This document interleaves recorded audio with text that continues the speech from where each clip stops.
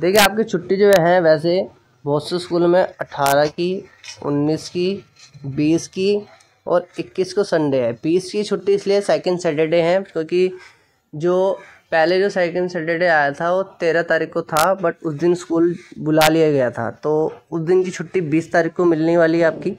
अठारह, उन्नीस तारीख को जन्माष्टमी है। उन्नीस तारीख की जो है ऑफिशियल छुट्टी है और अठारह तारीख की जो गजट होते हैं, कुछ छुट्टियाँ जिनमें स्कूल अपनी तरफ़ से जो है छुट्टी दे सकती है। बाईस नंबर पे आप देखेंगे, जन्माष्टमी अठारह दस की दी गई है।